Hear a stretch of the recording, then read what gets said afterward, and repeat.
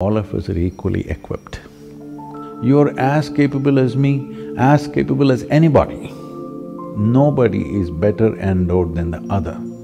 Physically, mentally, we may be, you know, different levels of function. But as a life process, no one is better than the other.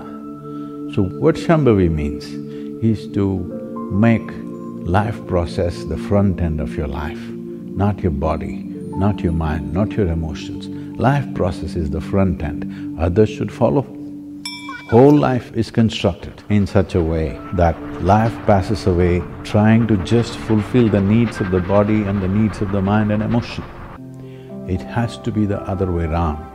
Your body, your mind, your emotion should serve this life. Only if it serves this life, you understand what that means by experience, only then you can truly make a difference to another life. Yoga course Asana. The best YouTube yoga videos taught by Sadhguru, organized in an easy to use course format.